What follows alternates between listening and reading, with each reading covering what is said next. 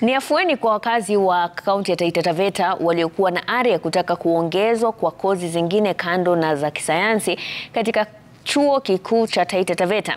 Chuo hicho ambacho kinajulikana kwa kozi za kisayansi pekee sasa kimesajili idadi ya wanafunzi wapya mwaka huu baada ya uzinduzi wa kozi zisizo za kisayansi kama vile za elimu. Akizungumza baada ya kuwa na kikao na wanafunzi wapya waliojiunga na chuo hicho, naibu chansela Profesa Fred Simiyu amekiri kuwa kupewa nafasi kusajili wanafunzi katika kozi zisizo za kisayansi ni mwamko mpya wa elimu katika kaunti hiyo.